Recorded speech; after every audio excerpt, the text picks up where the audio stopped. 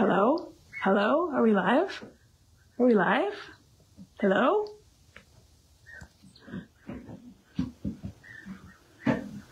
What's going on? I'm only kidding. We're live! hey, everybody. Welcome to the first uh, baby shower live stream of 2024. Thank you so much for joining us. I see eight people in the live feed so far. I always try to figure out. I did this last year. If you were watching, I couldn't find the chat. I couldn't see who was there. I couldn't see who was saying hello. All right, everyone. Hey, my name is Becky. Um, I'm going to be your host for the next four or five weeks um, of this year's baby shower and baby shower live stream. Uh, tonight, joining me in the baby shower, we have Mel. She's our Director of Wildlife Care and Services. And on the chat right now, we have Kyla, who is our clinic supervisor. So Kyla is going to be popping some information in the chat for you as well. So, why are we here? We are here, A, to give our supporters, like all of you, um, you know, an opportunity to to see wild babies up close, something that you know is really uh, unusual and something that you wouldn't often be able to see. And also to raise funds. Uh, it's a really busy, busy time of year for us. We take in, you know, six to seven times more patients at this time of year. So it's a fundraising opportunity for us as well. But before we start, I'm trying to see if I can see the chat. I had this problem last year. Do you remember? I couldn't see who was talking to me. I want to know where you are uh, watching from. So why don't you pop that in the chat for me? Say hello, say hi in the chat. Tell me where you're watching from. Hopefully I'll see it, but I can't see anything right now. Isn't this awful? This is what happens with a live feed. Hmm. I don't think I'm going to be, be able to say hi to any of you. How did you find out about this? How did you find out about Calgary wildlife? And tell us where you're watching from again, please. Yeah, what a bummer. All right, I'll figure it out for next time. Sorry, everyone. Okay, so why are we here? We're here to raise money, as I said. Uh, we're also here to give you an opportunity to see some baby wild animals up close. Um, so we have a lot of really great ways for you to to get involved uh, this year. So one of the first ones, I'm going to ask Kyla to pop into the chat. Um, we have a 50-50, a 50-50 raffle, um, which is already started. So this has been going on for a week or so now. We're already at 6K, um, and that can go up to $20,000. So 10K for you and 10K for the wild animals. So you can get your tickets anytime. Um, the second opportunity we have for you to get involved is uh, we have a incubator fundraiser right now for our uh, babies we always need to you know put babies in incubators and we need them obviously when we you know have patients that have surgeries that need to go in there or just patients that come in you know in a critical state so we're short a few of those right now. So we have a GoFundMe set up already. Um, so Kyla can pop that link into the chat as well. And we have a really cool opportunity starting right now. So the first five donors, the first five donors of $25 or more that, uh, that donate through that dedicated donation link that Kyla is going to pop into the chat for you in a few seconds will be sent an extra special limited edition. You only get it when you come to the baby shower. Thank you gift in the post. So first five donors, $25 or more. And what else? Oh, finally, we have, you know, we do this every year, the top three donors of the whole baby shower. So that runs right until the end of June. Top three donors will be sent an extra special thank you for donating gift um, in the post as well. So um, I think I mentioned our, our fundraising goal was $30,000. That covers around two months of food and medication uh, costs for our patients. Like I said, we we take in six to seven times more patients at this time of year. It's crazy. Um, so yeah, anything can help. Um, and I think that's about it. I got a bit, you know, I've lost my I've lost what I was going to do because I can't see what's happening in the chat. I hope you guys can all hear me. I'll have to figure it out for next time. I apologize. So I'm going to stop chatting. Um, I think most of you probably know who we're going to be seeing tonight, but if you don't follow our social media, you may not know. Um, they look like Muppets when they're babies. They're adorable. They are great horned owlets. They're called owlets. They're so cute. So we're going to go in um, and, and see them, learn a bit about them. But before we do that, I'm going to introduce you to our Director of Wildlife Care and Services, wildlife biologist, bat and beaver expert extraordinaire. Her name is Mel, and she's giggling now. I'm going to flip you over to her. Okay, hold on one second. Flip around. Tita! Hi, everybody. and they look like grouchy Muppets. They really do. They're so grouchy, but they're so cute. All right, Mel, thank you so much for being here and doing this. This is our third baby shower together. Time flies. Mm-hmm. Okay, before we go in, tell us a bit about these two uh, owlets and why they came into our care. Yeah, so these guys are both from separate uh, nests, and the parents weren't found. So we weren't able to reunite. Typically, we try to reunite if we can, but in these cases, these two owls were, um, owlets were actually orphaned. Oh dear. And they came in around the same time? Uh, they came in about two weeks apart from each other. Gotcha. And so, in the wild, what are some of the common uh, ways, I guess, that owls would become injured or, or maybe even die? Yeah, there's multiple things. Um, typically, they would, uh, like man made structures, sometimes they might hit a structure. Um, the other thing that can happen is rodenticide. So, people that are using rat poison, they're often not thinking about the other animals that potentially are getting targeted. They may be targeting mice, but you have the whole food chain, right? Um, the other thing is diseases. So there's like HPAI, which is avian influenza, that has taken some populations out, and West Nile virus. Gotcha. Um, and how about while these owls or owlets are living in the wild with their parents? Mm-hmm. What are they eating? Are they? They're surely not eating full mice already, are they? Well, should we? Oh. so, um, what they are eating actually is the parents will go out and catch the prey, um, and then they regurgitate that back and then so they'll, they'll basically bring up little pieces of meat. So that's kind of what we've simulated here. Amazing. Mm-hmm. And so you just showed us a bit. I mean, don't people if you're if you're squeamish, yes. look away. But don't we'll look. just have a real quick. Oh gosh. Yeah. So okay. this is a combination of uh, various mice and then some supplements that are in there as well. So we're obviously feeding the mice supplements. Um, how often are they fed in our care? So it depends on their age. Obviously, when they're younger, they're going to be fed more often. Um, but then this, these guys that we're about to feed now, they're a bit older, so they're down to twice a day at this point. Gotcha. Mm-hmm. Okay, I'm gonna flip back to me. I'm still trying to figure out these this this whole comment thing. This happened to me last year, and um, I don't know. I guess I'm just too old for this live stream business. um, okay, before we go in, we talked about this last year. So when we go in, you know, to feed or treat any of our patients, we are silent. We don't speak. This is because, you know, A, they're wild animals, and to them, we're predators. You know, they don't know better. Um, so we don't want to freak them out and stress them out, number one. And number two, we don't want them to, you know, become uh, uh, habituated and accustomed to, to the human voice. So Mel and I are going to go in. We're going to be super quiet, but don't worry. Kyla's in the chat. Any questions that you have, please do, you know, pop them in there for Kyla. She can answer them. Um, she can also, you know, pop in if you forgot what the, the donation link is, she can pop those in there again for you. Um, and then we're going to be silent, but we'll come back out um, and there'll be a few more questions. And then that will be the end of it. Gosh, it is flying already 10 minutes. All right, let's go, Mel. I'm going to flip around again. There we go. Okay.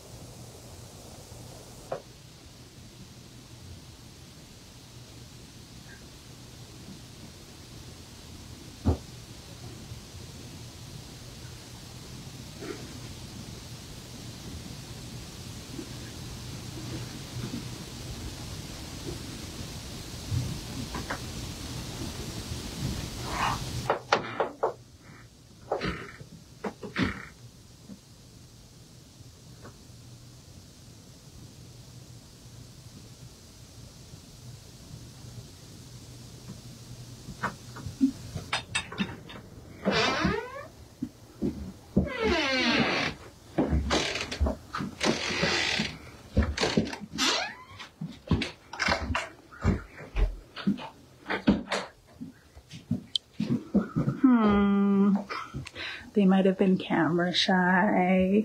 They might have been camera shy. oh well, you guys got to see them up close. They're super cute, right? Super cute. All right, I'm gonna flip back over to you, Mel. Yeah, the beauty of live television. Um, yeah, they they're obviously not hungry. So what we're doing at this stage of their their life is we do offer some solid food there for them, so they'll you know, learn to pick at that as well. And then the tweezer feeds that we're doing now are kind of like a supplemental feed. So they obviously were picking at the mice earlier today, and uh, oh well. That's okay. Yeah. I think people got to see them up close, which we don't. You know, most people wouldn't get to see a Muppet Yeah. owlet up close like that. That's okay. Thanks. That's great, Mel. Um, all right, where am I on my sheet? So I saw you were trying to get them to eat, and you were doing the sort of like what parent, human parents do with like, here comes the airplane. Kind of. Yeah, like what is that about? Yeah, so what I was actually doing is they have these feathers that are very close to what they're called the cere of the beak, Mhm. and that's where their nostrils are. And so I was kind of rubbing the food around there so they could smell it, and that they're also feeling it on the feathers to kind of entice them to open up their beak.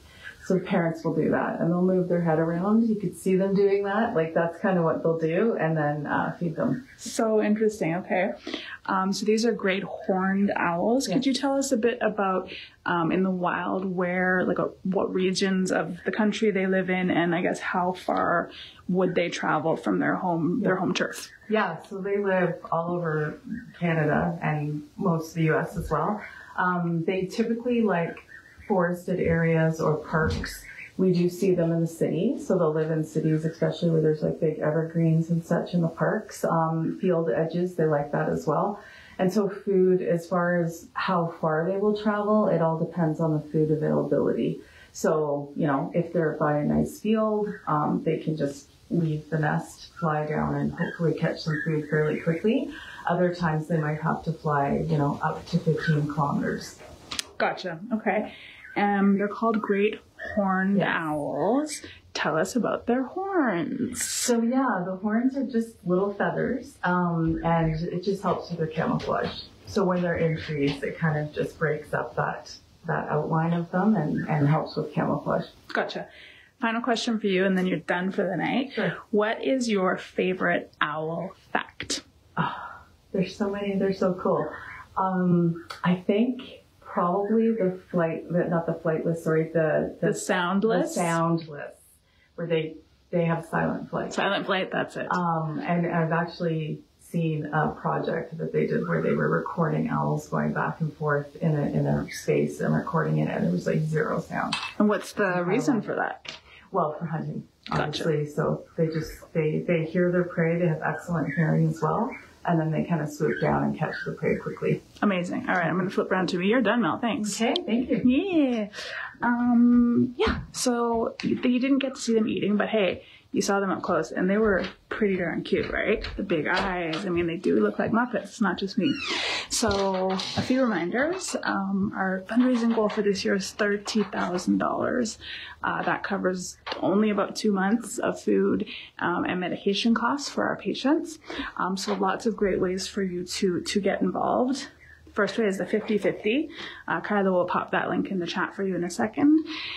Get your tickets before they sell out. Please do us a solid and, um, you know, send your friends and your family and your coworkers and your neighbors and, and your cousins and all of those people um, links to our to our 50 50 so we can get up to 20K. We get up to 20K, you get 10, and the animals get 10.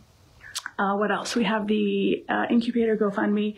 Kyla will pop that into the chat. Hopefully, we'll be able to get a couple more new incubators on site in the summer, um, just so we have enough for not only our babies but any like critical patients that come in.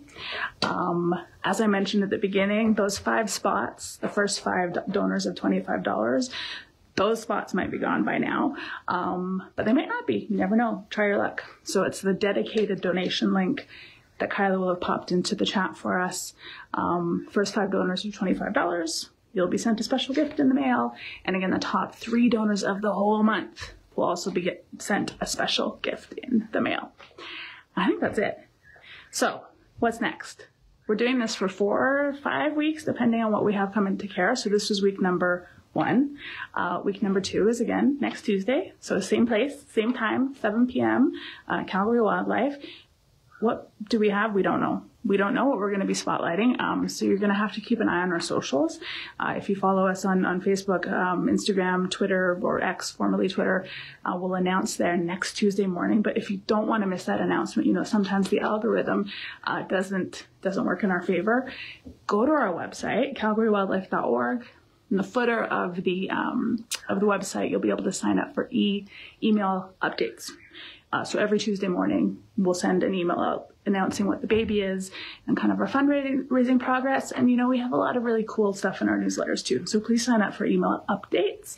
Um, and I think that's about it. I, I really will try to figure out what's going on in the chat. I know I had people coming to listen tonight and now I can't see you. So I'm so sorry if you've come and anyway, hi everyone and thanks for coming. and um, same place, same time next Tuesday. Uh, and thanks. Thanks for coming. And thank you so much for supporting Wildlife Rehab. See you next week. Bye.